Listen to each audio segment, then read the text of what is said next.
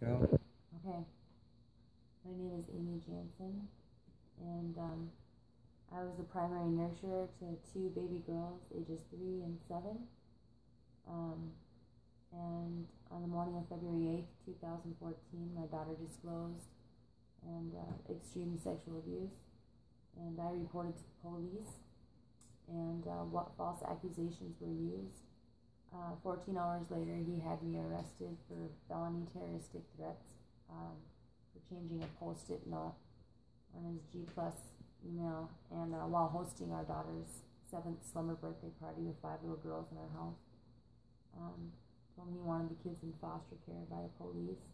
The police came out and took the uh, only evidence and um, disclosing the child sex trafficking site that was found amongst other sites and they wiped it out.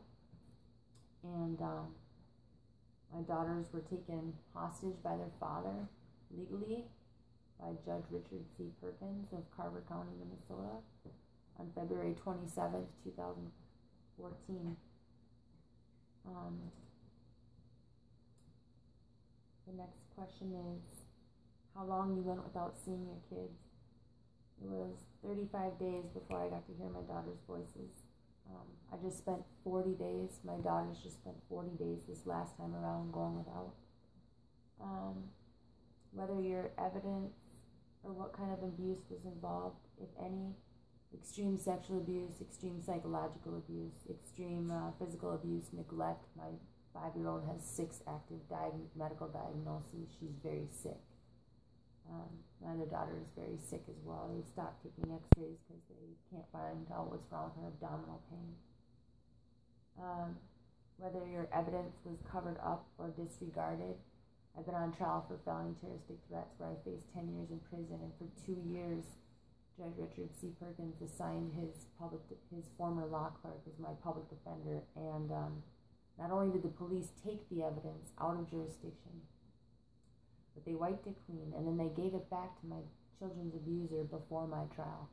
I'm currently in the Court of Appeals appealing the incompetence uh, order that came out on October 29th via my public defender, who is Judge Richard Perkins' former law clerk. Um, whether you were coerced into silence by whom, Judge Kevin Eide uh, put a gag order on me on May 12, 2015, after my Rule 20 results came up, three weeks after uh, my psych test came back clear. Um, which officials involved? the DAs, law enforcement, social services. My children's father's girlfriend is currently friends with all of Carver County social services and they protect him very well. There's been seven mandated uh, reports of sexual abuse and neglect in, since they've been in, in his care in the last uh, 20 months, two years. Whether, uh, whether you're the psychologist, the therapist, everybody's in on it whether you, your kids suffered trauma symptoms.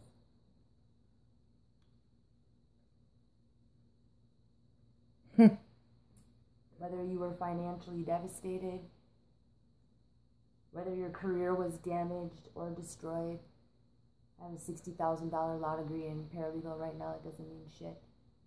Um, my career is trashed. My family is gone. Everything is gone. Uh, but that's nothing compared to what's happening to my beautiful daughters. And we are we've been in supervised visits for two years. Two years, and um, for two hours a week. And I just paid two hundred and seventy-five dollars on Saturday to see my children for the first time in forty days now. This time, uh, two hundred and seventy-five bucks for two hours to see my children when I live across the street from their school we have to go somewhere else and pay someone because their abuser doesn't think it's a, a good idea. So, um, let's see how you feel about what was done to you and your children. No words. It's a nightmare. It's it's it's the twilight zone. Um, it's that, that's really all I even know how to explain it. It's retarded. and to find out that I am one of thousands, tens of thousands of other mothers and children out here. Uh, that that's that's disturbing. And um, I said to Judge Perkins that day when he uh, signed, he said I was rambling when I was discussing the sexual abuse in the court hearing where they stole my children. And um, I said to him when I, I put my hands down on the desk and I said, I said, I'm going to have the media on up in here. And I didn't know how in the heck I was going to do that. But um, here you are. And you're just in the nick of time. V is for victory.